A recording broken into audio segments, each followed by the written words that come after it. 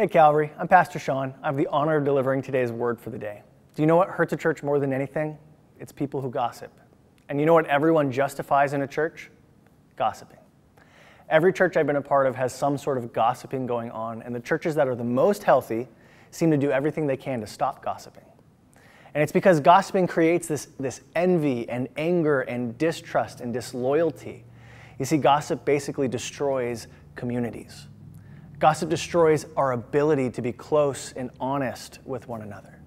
Proverbs 16:28 says this, a perverse person stirs up conflict, and a gossip separates close friends. You see, it's impossible to have healthy community with a gossip in tow. But here's the deal.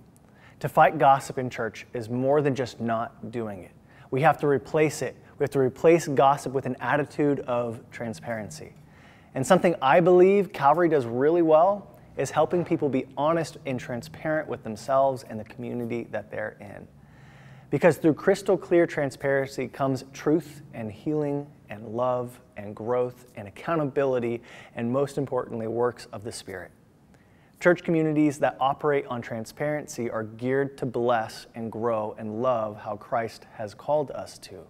So it's imperative that we cast out gossip in our life and really assess where in your life it's happening the most. Where are you talking the most behind people's backs? Where do you justify gossiping?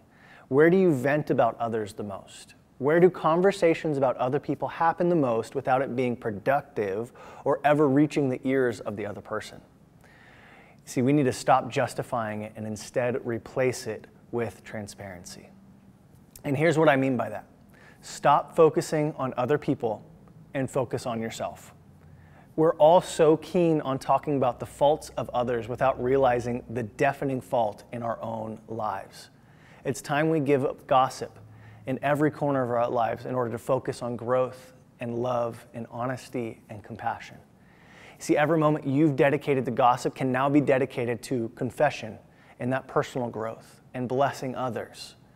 Now, I don't think you'd be surprised to know how much of a blessing this can be in your life, but it is. And in the lives of our church community, it's imperative for any type of growth. Have a great day, Calvary. Be blessed and talk less.